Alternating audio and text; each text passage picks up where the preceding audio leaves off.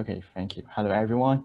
So one day when I was passing a bakery near my home after work, I saw trays of perfect high quality bread being thrown into the bin just because the, the store can't sell it. Um, imagine you are running a business like that. By the end of the day, you have to throw away all the fresh, high quality and surplus food to the bin. It's not only bad for your business, but it's also bad for the environment. So in reality, it's just the tip of the iceberg. So one third of food being produced every year are being sent to the landfill, and the loss of it is estimated to be around one trillion dollars.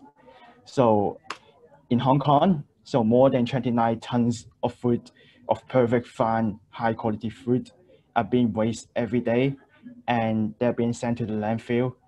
And yeah, that's the problem in Hong Kong now. So wasting foods does not only waste resources, but also contribute to climate change. And that's why we have to change as soon as possible. So my name is Leo Leung, and I'm the co-founder of Scoop. And our solution is a digital marketplace that allow restaurant, our food, our food business to sell the surplus food instead of wasting it and allow users to buy at a greater price so they can enjoy great, fresh, high quality food at a discount price. So it's very simple. So you work like that. So customer can just browse, use our app and browse what is nearby offer, and then they can uh, buy the surplus food a discount price using our app, and then they just go to the store and pick up the meal and enjoy it at home. So in this way, the business it is earning back their sunk cost, and they can gain a new, new um, client group, and they can also generate a new stream of revenues. And for users, they can enjoy a greater uh, a great food at a greater price, and also most importantly, is good for the environment and everyone is involved in the green movement. So there are already proven business model such as Too Good To Go and Karma, which is in the Europe market. And they have successfully shown that um, the green consumption is become more is becoming more and more popular. So and is also very profitable to do.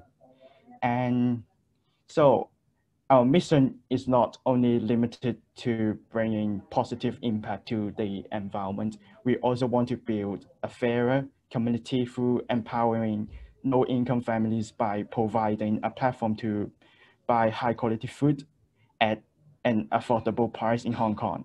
So, which is what driven us to organize a food ticket donation scheme. So, all donation from the external source and part of our profit from Scoop will be turned into food tokens and they will be allocated to all our partner NGO partner such as local church and community center for redistributing the token to those in need. Therefore, the more meal, the more meal you save and rescue, the more people you can help. And yeah, so we are trying to get everyone involved in the green charity movement and also building an ecosystem together.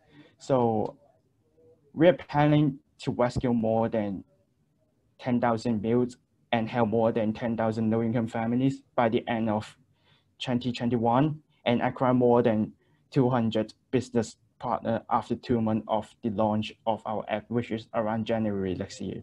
So um, as our team, we are all from different backgrounds, such as backend developer, NGO and professional UI designer with the same passionate about tackling the food waste problem in Hong Kong.